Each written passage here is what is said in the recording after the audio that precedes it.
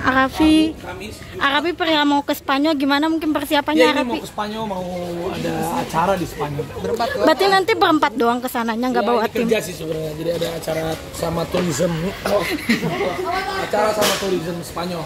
Rencananya di sana ngapain aja? A? Di sana kalau nggak salah ada ketemu sama tourism pariwisatanya Spanyol. Terus juga dapat apa? Kita dapat award gitu the best influencer Asia.